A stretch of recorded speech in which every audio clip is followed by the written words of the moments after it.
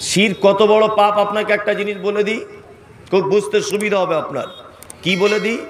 আচ্ছা আপনারা এখানে যারা বসে আছেন, আল্লাহ ছাড়া কারু কাছে চাওয়া পাওয়া কিছু যায়? কিছু যায়? বলুন। কিচ্ছু যায় না। আমি এটা প্ল্যাটফর্ম রেল স্টেশন আমি এখানে দাঁড়িয়ে আছি। আমি এখানে কি? দাঁড়িয়ে আছি। ওইখানে একটা মৌলবী সাহেব দাঁড়িয়ে আছে। তা আমি এখানে দাঁড়িয়ে দাঁড়িয়ে একটা বিস্কুট আর চা খাচ্ছি। ধরে নেন। একটা প্ল্যাটফর্মে কুকুর ঘুরছিল। আচ্ছা বলুন তো এই কুকুরটা ঘুরতে ঘুরতে ওর কাছে দাঁড়াবে? না যে চা খাচ্ছে তার কাছে দাঁড়াবে? কোনটা? যে চা খাবে তার কাছে দাঁড়াবে। কারণ কুকুরও বোঝে। কুকুর কি বোঝে? না, কুকুর বোঝে যে ওই মৌলভী সাহেবের কাছে দাঁড়ালে একটু বিস্কুট ভেঙে দিতে পারে। তাহলে কুকুর অবলা প্রাণী, ও জানে যে কার কাছে গেলে বিস্কুট পাওয়া যায়, কার কাছে গেলে রুজি পাওয়া যায়, তাই না? কিন্তু বর্তমানে কিছু মানুষ রয়েছে। কারা তারা? তারা যায় মাজারে, নতুন গাড়ি কিনেছে, মাজারে যাচ্ছে। কি করতে? যাতে গাড়ি অ্যাক্সিডেন্ট না হয়। আচ্ছা হুজুরেরই তো অনেকবার গাড়ি অ্যাক্সিডেন্ট হয়েছে।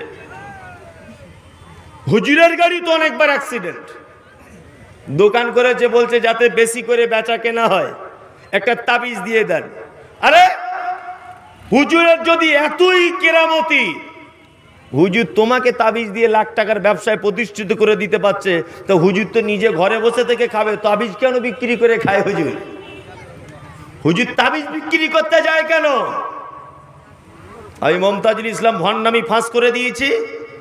জি, যারা সোশ্যাল মিডিয়াতে দেখছেন, সুরা আরাফের একশো একানব্বই নম্বর আয়া থেকে একশো সাতানব্বই আয়াত পর্যন্ত অবশ্যই তার বাংলাটা পড়ে দেখবেন। আল্লাহ সুবাহ কি বলতে চেয়েছেন? শির মারাত্মক বড় পাপ। আল্লাহর যে ক্ষমতা আছে, এই ক্ষমতা পৃথিবীর অন্য কারও আছে, এটা মনে করা কি? শির অত কি মুসলাতিল মাকতুবাতা। আল্লাহ নবী সাল্লাম ওই ছেলেটাকে বলছেন, এই, তুমি জান্নাতে যেতে চাইছো? জান্নাতে যদি যেতে চাও, পাঁচ অক্ত সলাপ আদায় করো। ইনশাল্লাহ আমরা সবাই করি নাকি? পাঁচ অক্ত নামাজ পড়িতে সবাই? ইনশাল্লাহ ইনশাল্লাহ ইনশাল্লাহ যারা পাঁচ অক্ত সলাৎ আদায় করেন, আলহামদুলিল্লাহ। যারা করেন না, এদের জন্য জাহান্নাম। একটা লোক যদি নামাজ না পড়া অবস্থায় মারা যায়, থাকার জায়গা হবে জাহান্নাম। কোরআন এ কথা বলছে, মা সালাকা কুমফি সাকার কলু লামনাকু মিনাল মুসাল্লিন। কলু লামনাকু মিনাল মুসাল্লিন। কিয়ামতের মাঠে একজন জাহান্নামী আর একজন জান্নাতীকে ডেকে বলবে, ভাই রে, তুই কেন জাহান্নামে? আমি কেন জান্নাতি? তখন ওই জাহান্নামী বলবে, কলু লামনাকু মিনাল মুসাল্লিন। আমি জাহান্নামে এই কারণে এসেছি ভাই, আমি শুধু নামাজ পড়ি না। অনেক মানুষ আছে না, বলছে, নামাজ না পড়তে পারে হুজুর, আমার ইমান চাঙ্গা আছে। অনেকজন কথা বলছে কি বলছে না? আরে মলি সাহেব নামাজ না পড়তে পারি। আমার ইমানের কোনো অসুবিধা নাই। এ কথা বলছে কি বলছে না? তোমার ইমানের অসুবিধা নাই নয়, তোমার ইমান নাই তা অসুবিধা থাকবে কি করে? হ্যাঁ? তোমার তো ইমানই নাই। তোমার আবার সুবিধা, অসুবিধার আবার কি আছে? এ কথা আমি অনেক জায়গায় বলি। একদিন মাদ্রাসায়, আমার মাদ্রাসায় বসে আছি। একটা ছাত্রীর বাপ এসেছে। এসে বলছে আমাকে, হুজুর, আমি একটা পাপ কাজ থেকে সারা জীবন বেঁচে আছি। আপনারা যতই বড় বক্তা হন আর যাই হন, এই পাপ থেকে আপনারা বাঁচতে পারবেন আমি বললাম, কি ভাই? বলছে, আমি জীবনে কোনো মেয়ে ছেলের মুখ দেখিনি। বললাম, তাহলে আলহামদুলিল্লাহ। না ভাই, আমি বাসে ট্রেনে ঘুরি, আমি অনেক মেয়ে টেয়ে দেখি। চোখে পড়ে দেখি না? দেখি। তো ও তখন বলছে জীবনে আমি কোনো মেয়ের মুখ দেখি না আমি তখন মনে মনে ভাবছি, আল্লাহ, এ তো মানুষ না, এ তো ফেরেস্তা তাহলে। হ্যাঁ? এ তো ফেরেস্তা হবে নিশ্চয়, মানুষ হতে পারে না। লোকটা অজুখানাতে, মাদ্রাসাতে অজু করতে বসেছে, চশমাটা খুলেছে, তা দেখছি লোকটা অন্ধ। তাই বললাম, ভাই, তোমার তো মেয়ে ছেলে দেখার মেশিনই নাই, তো দেখবে কি করে? তোমার তো মেশিন খারাপ। আমার মতো মেশিন যদি তোমায় থাকতো, তবেই তো তুমি দেখতে পেতে। জি, তোমার তো মেশিন নাই। তো ওর ইমান খারাপ হবে কি করে? নামাজ পড়ে না বলে তো ইমানই নাই তারপর খারাপ হবার গল্প কি করে? জি, ও তো ইমানই নাই। মারাত্মক বড় একটা ইবাদত। তার নাম কি?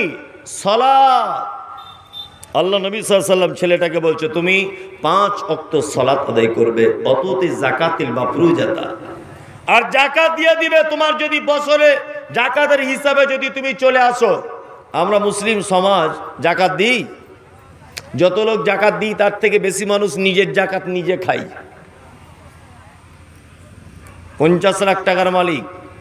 রমজান মাসে জাকাত দেয়, কি করে? না, একশোটা শাড়ি কিনে আনে, একশোটা লুঙ্গি কিনে আনে। কে তোমার শাড়ি লুঙ্গি কিনতে বলেছে? এই, জাকাত কি তোমার টাকা নাকি? তা তুমি লুঙ্গি কিনতে গেলে? জাকাত আপনার টাকা? যে আপনি শাড়ি কিনতে গেলেন? সবাই যদি তাকে গরিব মানুষকে লুঙ্গি আর শাড়ি আর ব্লাউজ দেয়, তো ঈদের দিনে ওর মাংসকে কিনতে টাকা দিবে? ওর মাংস কিনতে টাকা কে দিবে? ওর সিমাই কিনতে টাকা কে দিবে? হ্যাঁ? ওর বাড়িতে আত্মীয় স্বজন আসবে, রুটি পাকাবে, আটা কেনার টাকা কে দিবে? জাকাতের টাকা নিয়ে খুব ফুটুর ফুটুর করছে না? বিশটা শাড়ি কিনে এনে বিলি করছেন একদম নয়। টাকা হয়েছে, জাকাতের টাকা দিয়ে দেন। ও টাকা নিয়ে যা পারবে, ও করবে নিজের ইচ্ছাতে। ওর টাকাতে আপনি হাত লাগাবেন কেন? যে রমজান মাস এসেছে বলছে খুব জাকাত দেয়। সব মাদ্রাসা থেকে আসছে। কোন মাদ্রাসা? শুক্রাবাদী। বিশ টাকা লেখো। মালতীপুর, পঞ্চাশ টাকা লেখো। জালালপুর মাদ্রাসা, একশো টাকা লেখো। অমুক মাদ্রাসা, দুশো টাকা লেখো। জাকাত হয়েছে টোটালে দেড় লাখ টাকা। কুড়িটা মাদ্রাসায় পঞ্চাশ টাকা করে দিয়ে জাকাত আদায় হয়ে গেল। আট টাকা, ও আর ওর বউ, ওর ছেলে মেয়ে সবাই মিলে ভাগ করে খায়। এই তো আমাদের চরিত্র। আজকে মুসলিম সমাজরা তো অবনতি কেন জানেন? তার অনেক কারণ আছে। আপনাদের গ্রামে কোনো ভিখারি আছে? কথা বলুন, একজন হাত তুলে বলুন একজন আছে। কেউ আছে ভিখারি যে ভিক্ষা করে? আচ্ছা আচ্ছা এই ভিক্ষা বন্ধ হয় না কেন?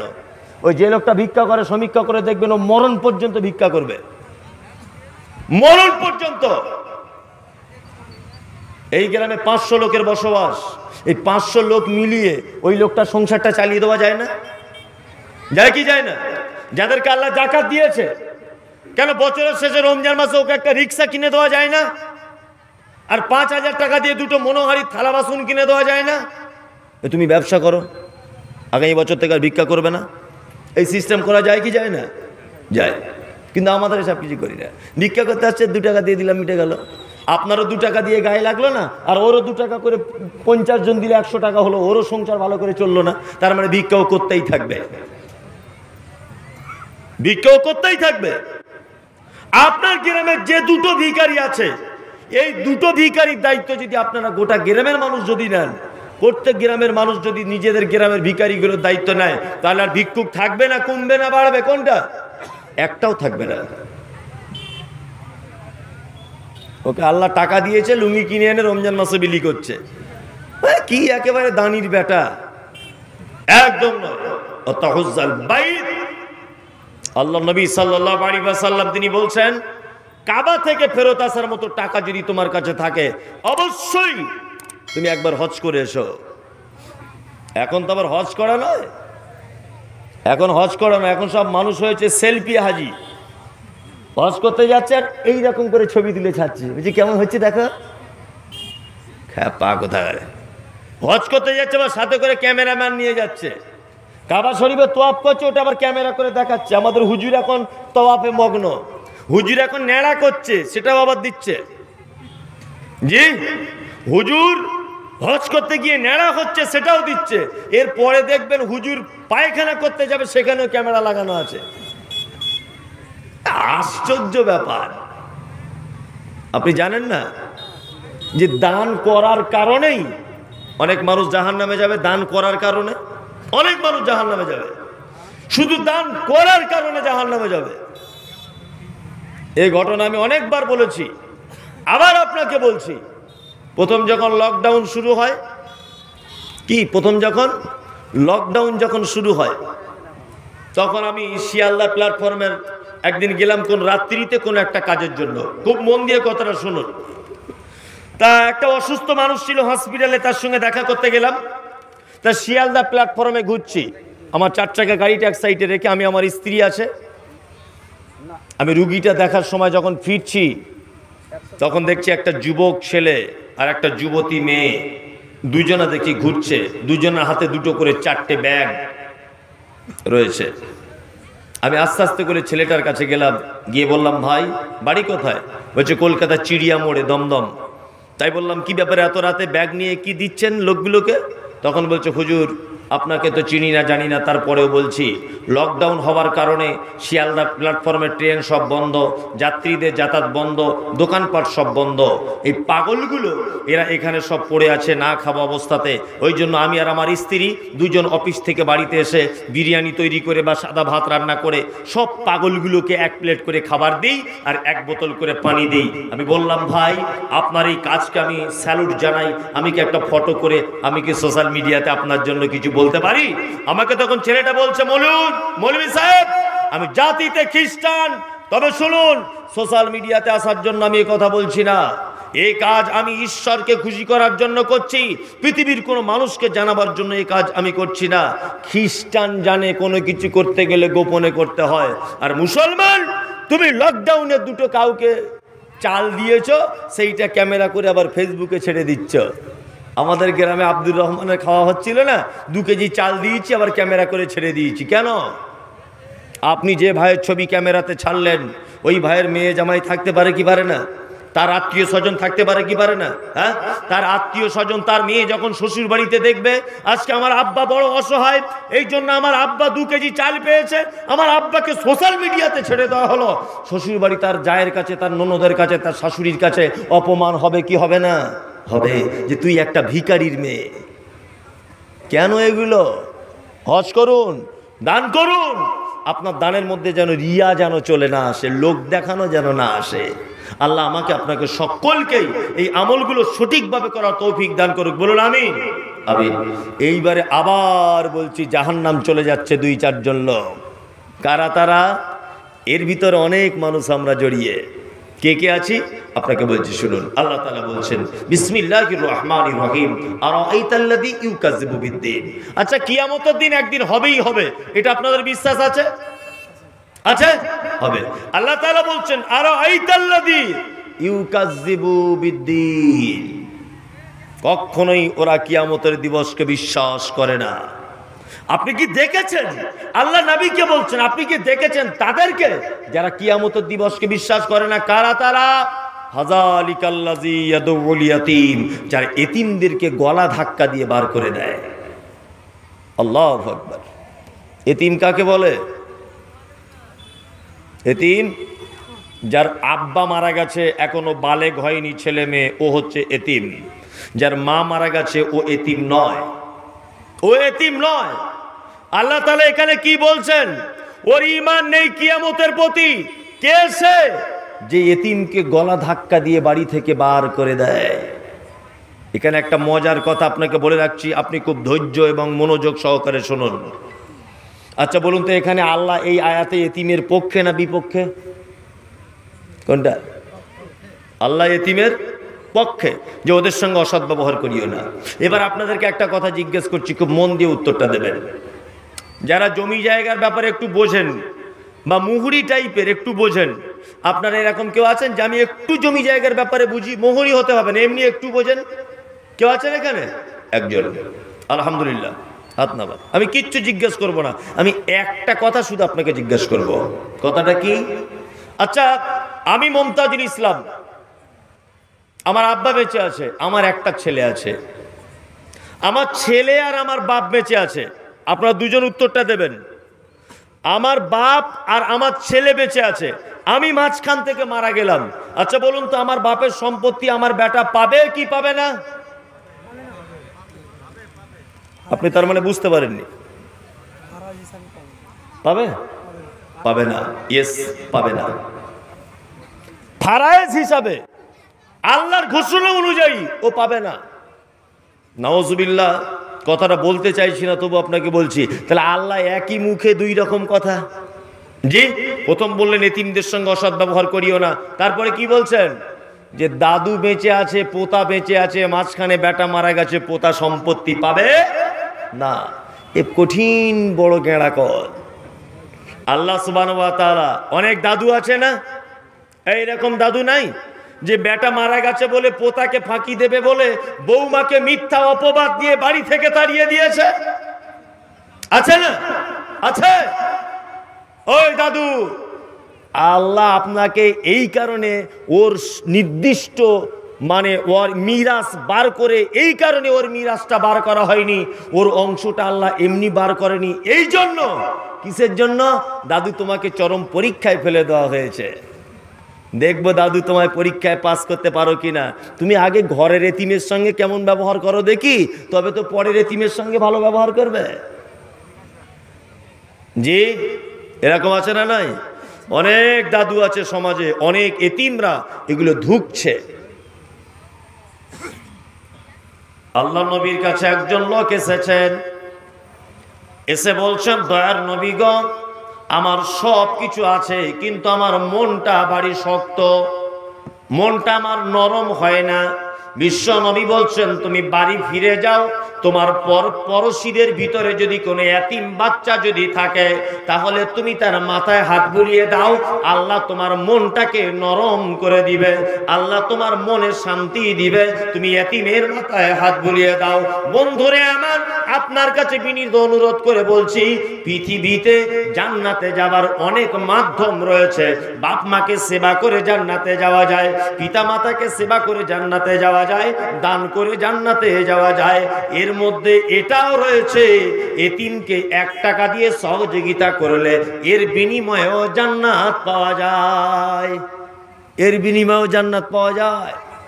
বাজারে ঘুরছিলেন, দোকানে আপনার পোতাকে নিয়ে দোকানে গেলেন, আপনার পোতার জন্য চারটে লেজ কিনে দিলেন, দুটো ক্যাডবেরি কিনে দিলেন, পাশে একটা এতিম বাচ্চা ছেলে আছে, তার আব্বা নেই। অবশ্যই আপনি আপনার পোতাকে চারটে ক্যাডবেরি দিলে ওকে অন্তত পক্ষে একটা ক্যাডবেরি কিনে দেন। ওকে একটা অন্তত পক্ষে দেন। আল্লাহ খুশি হয়ে যাবে। আর আমরা কি করছি? আমরা শুধু এতিমের মাল কি করে ডুপ্লিকেট করে লিখে নেওয়া যায় এই ধান্দাতে ঘুরছি। আর আমাদের দাদুদের জমি ভাগ করাও কঠিন। হাজি সাহেব হজ করার আগে জমি ভাগ করছে। কেমন করে? চারটে বেটা আর তিনটে বেটি। চারটে বেটাকে দেখে বলছে, এক কাজ কর, তোরা রাস্তার ধারে মেন ফন্ডের জমিগুলো তোরা তিন ভাইলে তোরা চার ভাই ভাগ করে লে। আর বেটিগুলোকে বলছে, এক কাজ কর, তোরা তো পরের ঘরে চলে যাবি। ওই বিলের মাঝখানে একটা জমি আছে, পানি জমে থাকে, ওইটা তোরা তিন মুনে ভাগ করে লে। ও যে প্লেনে করে হজে গেছে, মনে মনে ভাবছি, প্লেন তো ভেঙে যাবার কথা। ও পৌঁছালো কি করে আরব পর্যন্ত? এই জমি ভাগের যা ক্যাপাসিটি তো প্লেন ভেঙে মরে যাওয়ার কথা। কি বলছি, বুঝতে পারছেন না?